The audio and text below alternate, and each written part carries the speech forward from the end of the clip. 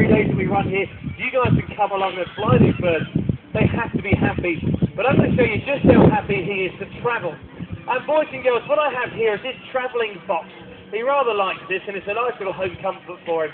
And what I'm going to do is I'm going to cast him off. Now, a couple of times this afternoon, you've seen me send him off. So throw him off the glove, he goes into wind, he circles around. I'm then going to open up his box and see if he can fly to here for the rest of his dinner. Okay, are you ready, young man? Okay, let's see how well he can do. Up nice and high, he goes off for a soar. And goes into a tree. Go on, you. Out the way. Now, this is the one thing about this hawk, because an exceptionally intelligent bird as well. Come on, you. Come on in here. Let's try it again, shall we? Okay. Once again, the wind's drop. We're going to try and get you up for a little soar round. Up he goes for a bit of a soar.